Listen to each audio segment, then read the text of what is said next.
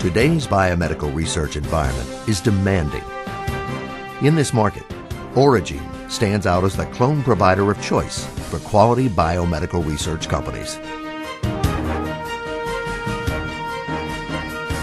As part of our commitment to industry-leading products and services, OriGene presents this program in the video protocol series.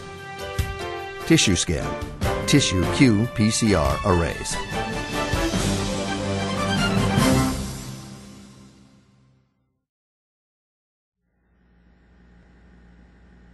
To conduct a TissueScan qPCR array test, begin with an ice bucket in which you have your primers, 2x master mix, sterile water, and a clean, sterile 1.5 ml microfuge tube.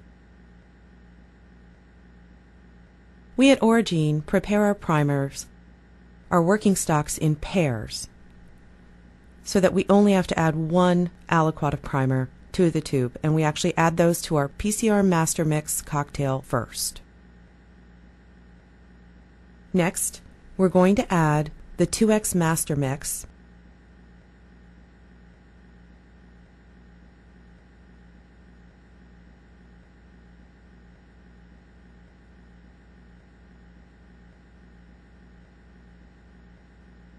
As you can see, we've actually chosen a colored master mix to make it easier to follow during our protocol.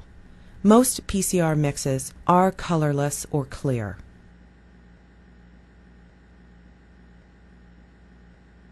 When preparing the PCR cocktail, we recommend preparing for more samples than you actually have in the plate.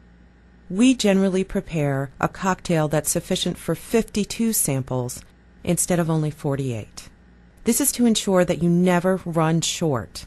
The worst thing you can do to introduce error is to have to make a new cocktail for the last four samples.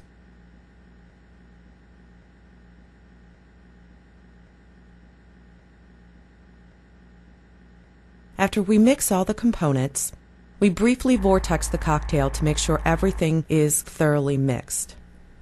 Next, you want to remove the seal from the qPCR plate, which contains 2 to 3 nanograms of cDNA only in wells C through F. We've left A, B, G, and H empty.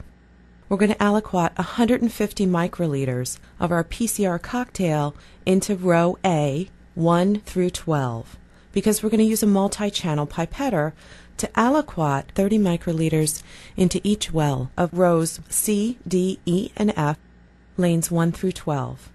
And actually, another trick for saving on your cocktail if you know that your pipetter tends to leak a little bit, we recommend loading only 29.5 microliters in every well. Another step to ensure you never run short of cocktail and never introduce additional error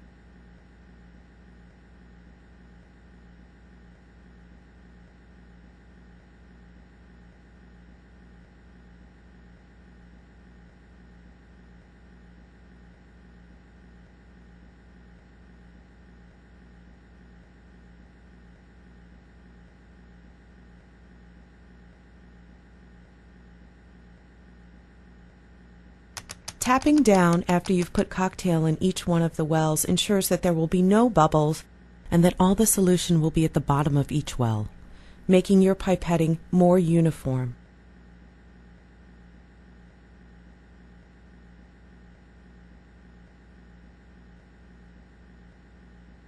We're using a 12 channel pipetter to move 29.5 microliters to each well C 1 through 12 through F 1 through 12. We change our tips every time because it's extremely important to avoid cross contamination during the pipetting step. Even a single molecule can cause contamination and an aberrant result in a PCR reaction.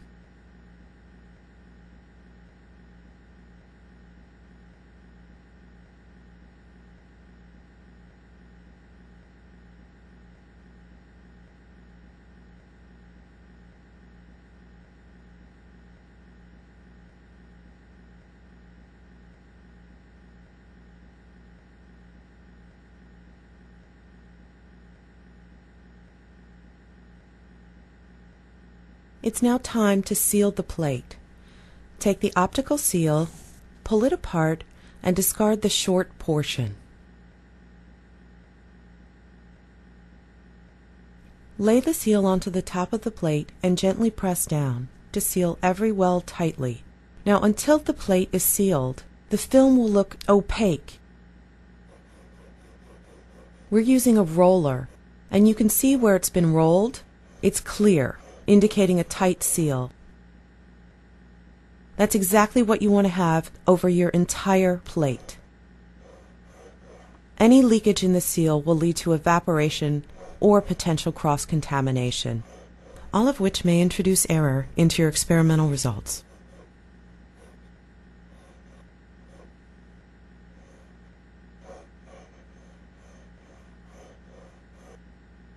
Once the plate is sealed, remove the tabs or the extra edges from the optical seal. These will interfere with centrifugation and the PCR reaction itself.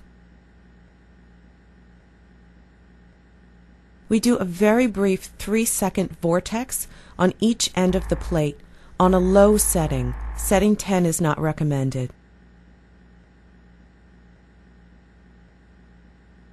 Next, it's important to spin the samples down so that all of the solution is at the bottom of each well and that there are no bubbles present which could interfere with the PCR amplification.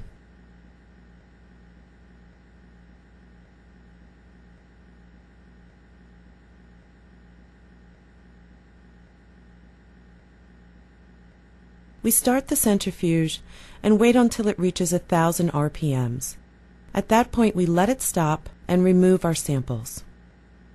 As you can see, the liquid is now at the bottom of each one of the wells and there are no bubbles present.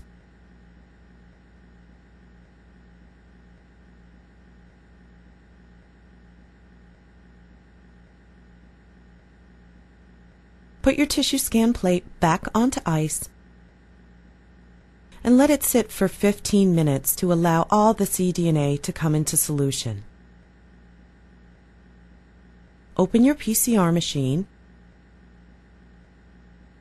Put the plate in and press firmly to ensure all of the wells are touching the heat block on the bottom.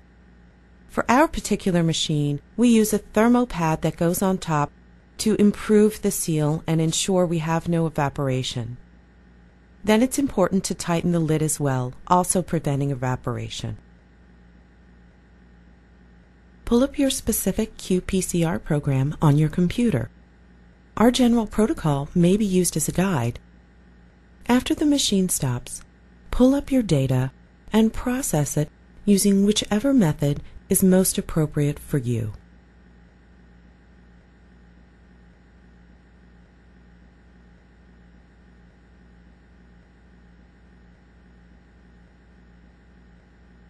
We at OriGene hope that this protocol has been helpful.